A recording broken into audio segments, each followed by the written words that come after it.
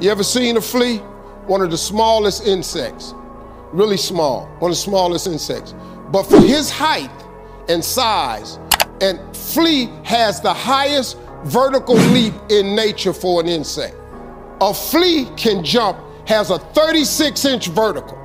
A flea, man, can come 36 inches off the ground. His vertical is 36. The average person can't do that. But a flea can jump 36 inches off the ground. If you capture the flea and you put him in a mayonnaise jar and you put the lid on it, the flea know one thing. I got a 36 inch vertical. So here he go. He start jumping, but he gonna hit himself on that lid because he got that lid on it. But after a while, after getting knocked down so many times, the flea makes an adjustment.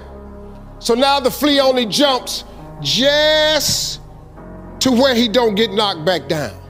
He got 36 vertical, but since this lid is on, his environment got him now jumping nowhere near what he can.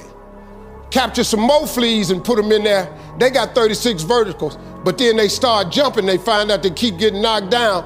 They start doing what the other fleas is doing. Next thing you know, I got a jar full of fleas and they ain't even using a 36 inch vertical because they got a lid on the jar.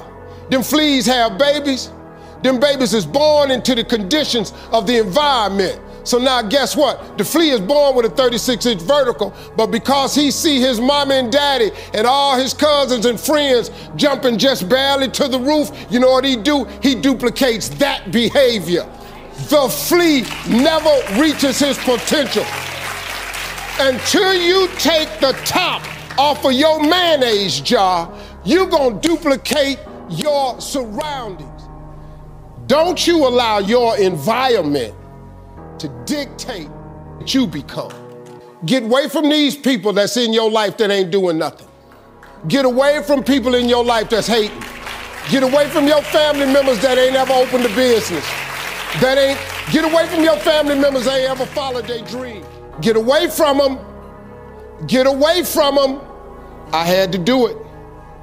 When I told everybody I was getting into comedy, man, oh Lord have mercy.